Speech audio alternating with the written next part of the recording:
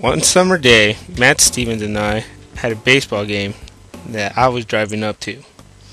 It was all the way up in Wyoming, so it was a far drive.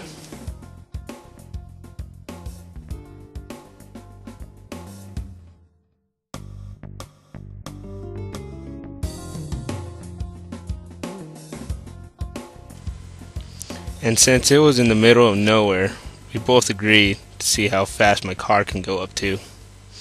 We're driving 95 miles per hour the whole way there, and we were almost to Wyoming.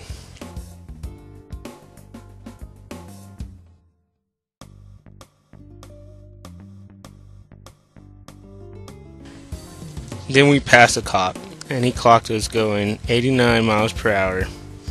Luckily, I slowed down a bit. The speed limit was 65, so I was going 24 miles an hour over. He ended up just giving me a ticket. It was $350 and two points off my license. I was really upset because it was my first ticket and I didn't know what to do.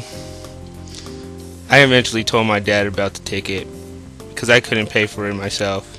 He was mad and it, he ended up taking my keys away for a week.